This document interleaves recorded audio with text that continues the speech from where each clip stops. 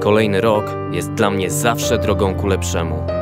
Jest rokiem wyzwań, niewiadomych, a zarazem jest rokiem nowych rozwiązań i możliwości. Poprzednie miesiące to tak naprawdę doświadczenie, nauka, wyciąganie wniosków, porażki i sukcesy. Jak każdy z nas potrzebuje chwili, aby zastanowić się nad kolejnym, choćby małym krokiem. Wtedy rzucam okiem za siebie, przypominam sobie pierwsze takty, które zapełniałem zwrotkami, pierwsze instrumenty i pierwsze nagrania. Zmieniły się z biegiem lat tak samo jak ja, ale dzięki temu mogę na nowo spojrzeć na dźwięki i barwy. Bo wiem, tak samo jak wy. Niezależnie od tego, gdzie żyjemy i czym się zajmujemy na co dzień, gdy jesteś z nią sam na sam, wszystko inne blednie. Liczy się tylko muzyka.